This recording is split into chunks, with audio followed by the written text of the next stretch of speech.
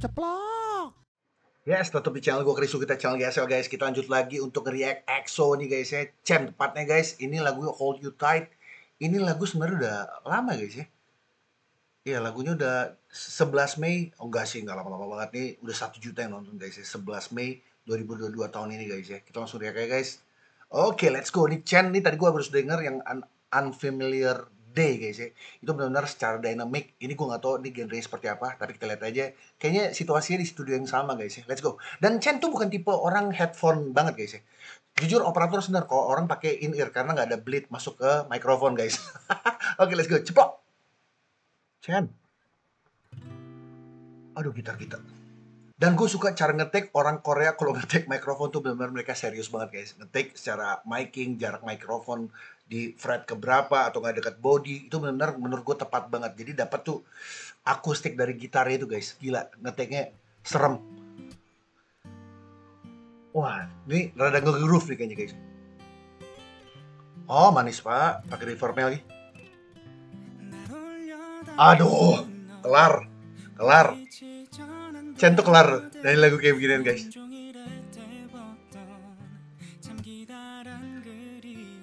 Dan ini gue gak tau ya guys, ya kayak sedikit raw guys ya. Gitarnya cuma dikasih efek reverb, Chen ngetik.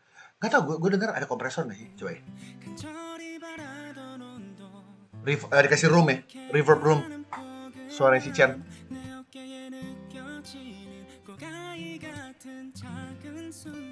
Aduh. Oh. Man. Enak banget lagi.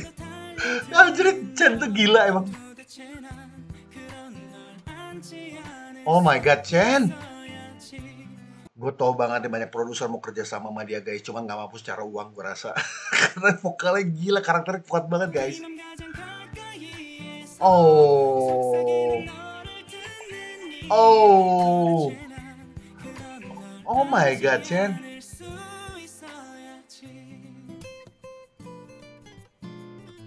Aduh, gila.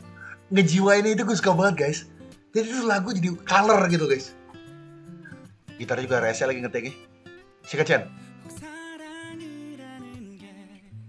Oh my god, pitch-nya. Pitch-nya, guys. Sorry guys, ini, ini, ini miking gue suka banget nih parah Chen ya. Tekniknya.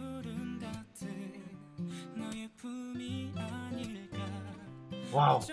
Ini lumayan stabil ya jaraknya. Oh my god. Gila guys, suara nih sedikit-sedikit middle guys sebenarnya guys. Tapi urusan ngegroove, Chen tuh gila tight banget guys vokalnya guys.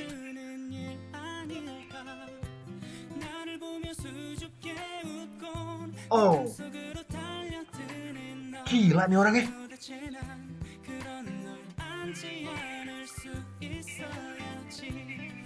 Nih, ini treatment vokalnya juga guys, dia nggak ganggu vokal utama guys. Kalian masih dengar clear banget di tengah suara Chen guys ya, tapi backing vokal tuh bener di sep, apa separate banget lebar. Jadi benar-benar vokal tuh tetap kita bisa dengar secara clear guys.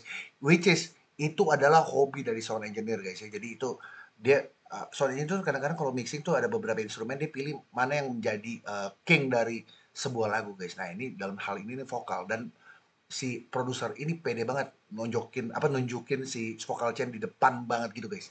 Dan emang clear banget suara dia guys. Gila. Wow. Nggak sorry gue potong lagi guys. Soalnya kenapa guys? Kadang-kadang gue kalau ketemu file mentah gitu guys ya gue dikasih buat uh, buat mixingan guys ya ada vokal yang kurang suka gue guys ya dengan karakternya.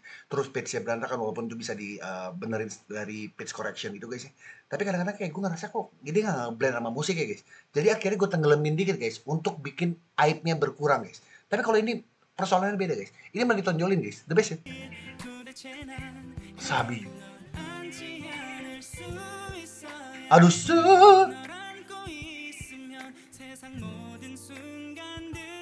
Sakit ya Gila.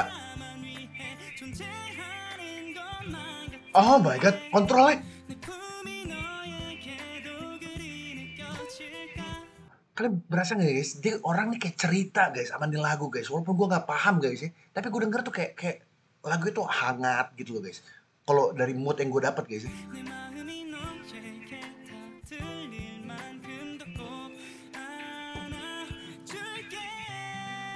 Aduh, ya ini ini vokal diproses dikit guys. Gue kan ada kompresan, kompres vokal guys. Dia lebih stabil secara dynamic guys, walaupun tidak merusak. Ini mungkin uh, dia gain reduction nggak terlalu banyak guys. Jadi vokalnya tetap tetap cuman jaga maintain doang guys dia punya dynamic guys dan benar-benar gue suka banget di cara dicerita di sebuah lagu guys makanya kenapa orang dipanggil untuk nyanyi original soundtrack ya karena untuk menceritakan kayak gituan guys gue gak tau nih disampaikan apa guys tapi gue dapat feelnya guys asik banget oh stabil oh wow aduh pak mulus banget oh oh